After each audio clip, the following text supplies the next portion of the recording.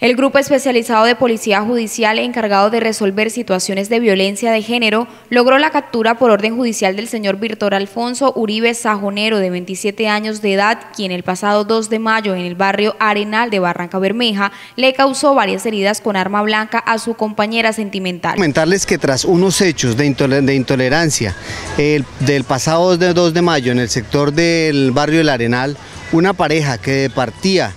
Eh, eh, con algo otros vecinos, eh, prácticamente después de haber terminado de compartir eh, tras un estado de alicoramiento, entran en unos temas de discusión. el compañero sentimental, sentimental, agrede con arma blanca a su compañero prácticamente haciéndole una tentativa de feminicidio. Una vez más, la Policía Nacional demuestra la efectividad de la implementación de la Estrategia Integral de Protección y Atención a la Mujer. Eh, este sujeto, al ver que su compañera sentimental se encontraba herida, emprende la vida. La Policía Nacional inmediatamente inicia unos despliegues, un plan cierre, un plan candado, donde logramos dar con la captura posterior.